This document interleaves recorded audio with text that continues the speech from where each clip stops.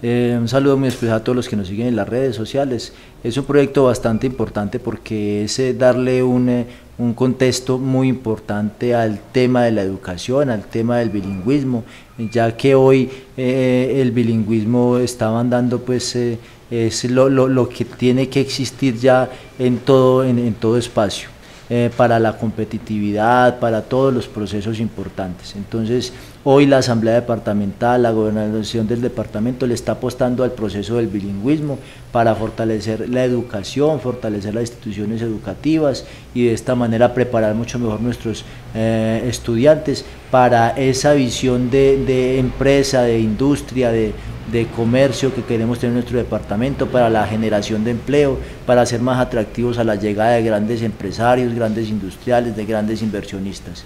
Y este, ustedes todos sabemos que el, el inglés y otros, y hay inglés, el mandarín y otros idiomas están hoy eh, siendo la, la, base fundamental para todos estos procesos. Entonces hoy la Asamblea y el Departamento de Resalda se está poniendo al día en este proceso.